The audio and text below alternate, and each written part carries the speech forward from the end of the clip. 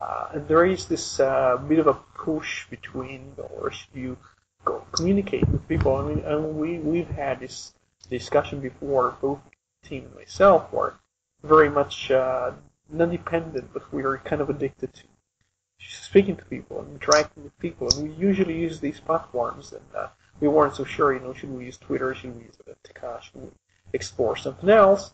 Uh, and there is always this concern that you know Google comes around with this Google Plus thing, and I think they pulled a hell of a lot of users away from the uh, from those other platforms. Mm. I, I, mean, I, I think uh, on numerous occasions over the last couple of months, I've made my views quite clear, and I, am grimacing when I say this because Rusty's uh, on the show this time around. There was me brought into Google Plus, but uh, I'm certainly moving more towards uh, Diaspora. And certainly, if I yeah, you, you, you may see choice profanity the day you finally leave Google Plus. And I'm like, you know, it was only on here because blah blah blah blah blah. it's more no, I mean, contagious thing, isn't it?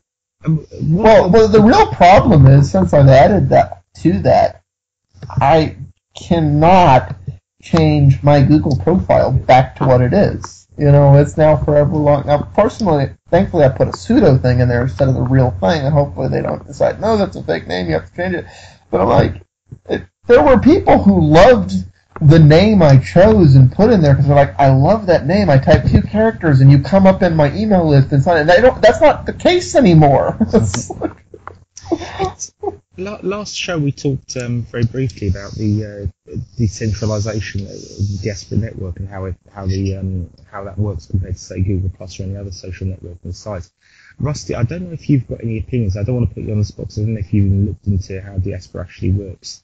Um, but I didn't know if you had any views on on the decentralization of a social network, uh, as in the case of uh, Diaspora at, at the end of the day, I, I get the idea, you know, you own your data, your, your data, but I'm like, aside from the legal ramifications, I, I get, I get the tinfoil hattiness of it, but at the end of the day, if I'm putting something on the web, I'm not really expecting to own it anymore. I'm expecting I put it online and it's it's going to circle about the web, and I've kind of lost control of it, and I've just kind of accepted that. So uh, the idea is, you know, restoring it's your content, you control it, but I'm like, okay, you control a copy of it. mm. I think also, and so I don't think we mentioned last time when um, myself and Roy were talking about this. Um, obviously, with the way the Diaspora works and uh, having pods that connect to a to a general to a general network where everybody can communicate with each other regardless of what pod they're on. Um, it does bring with it a few drawbacks, and uh, I've mentioned some of these briefly to Roy, but I've been looking at it uh, more over the last few weeks because uh, I've had the tech manuals out and I've been looking at what uh, how Diaspora actually works. Um, one thing we can say about, say, you log your details with Google Plus or, or Twitter. Yes, all your data is stored with them, and yes, they hold your data to ransom effectively, I suppose, if you want to, uh, if you're going to move away and to then provide adequate provision for you taking your data with you. But the one thing that, say, Google Plus or Twitter or uh, Facebook even do have is some level of responsibility, and I'll explain that because if I, if Facebook or, or Twitter was to do anything which was to be counterproductive or evil in quotes to the end user, you can be sure that the publicity that they would get would be uh, quite harsh and damning. And I think when Facebook has uh, pulled some naughties in the past, or been seen to pull some naughties in the past, and everybody complains, and yeah. Zuckerberg. So, so, there's a level of responsibility there, and uh, Facebook can't. Uh, well, I say it's very loosely, but Facebook can't just do whatever it likes without having some sort of ramification in the press or uh, by word of mouth because of nature of its uh, size and uh, profile in, in the business industry.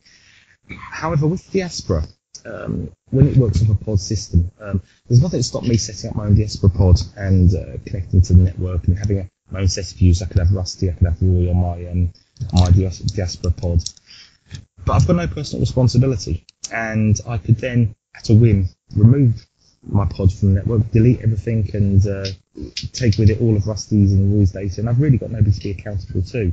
And I think that in itself is one of the issues that we're going to come across with this decentralization, and that is facilitated with uh, Diaspora.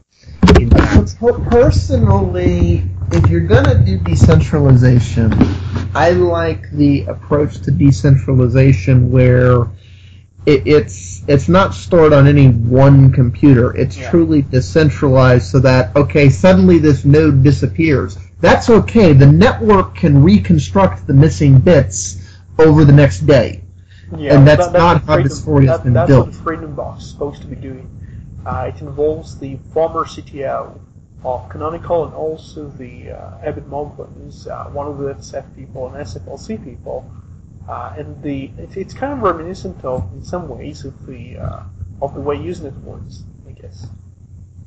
but then again, with with openness and with decentralization also comes abuse, and less of a control over that abuse. Um, I mean, I think Roy, I, I can't remember now whether we said this. We just had a brief chat pre-show, whether we actually mentioned our show, but Usenet is a prime example where you take you take something an ecosystem where you've got people contributing different opinions on a wide variety of subjects, and then you have Google groups pop up, and then spam starts coming in, and it all becomes a bit of a free for all.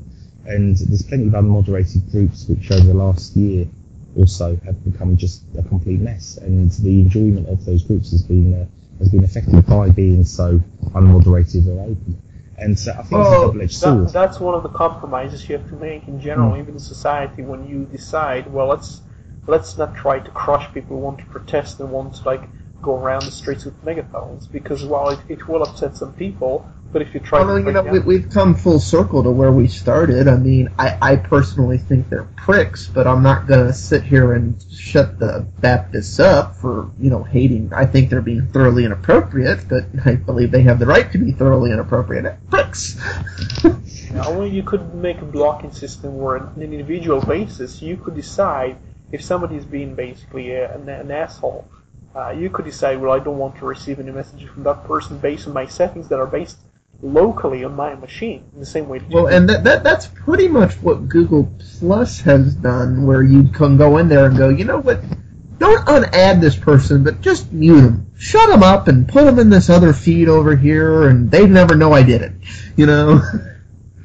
Yeah, It's- and control of the user over censorship is one of those things that we talk about uh, when we uh, when we talk about censorship in general based on domain names. So you just say, well, if, if I don't if I want censorship, I'll do it on my PC on my desktop. I don't want BT to do it for me. I don't want the government to do it for me. And I don't really need the uh, ICE chasing down and shutting down websites based on its own value somewhere in the states and deciding, well, you cannot have that. It doesn't belong in DNS. Like if I want access this stuff, I, I, I agree with you. If it's going to happen, it should be the individual's choice.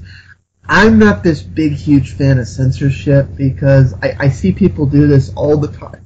They make an opinion, and then they only go talk to people who share their opinion, and they never really examine their opinion or look at it, and it, they they just basically live in a little, you know, dome and go, yeah, my, I live in my world, and the reality never penetrates because I only live in my world.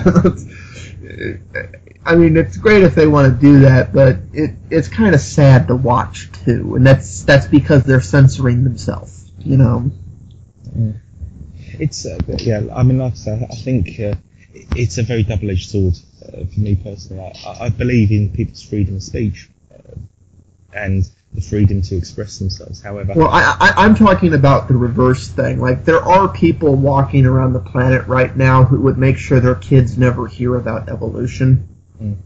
because of they you know for some reason or another, and I'm like that's kind of a disservice to their kids if we don't pierce the veil of evolution bad and you know it says your kids hey have you ever heard about this thing called evolution? I'm just bringing that up as an example because that's something people would do that um, which most people would agree. You know their kids should hear about evolution and make up their minds themselves you know?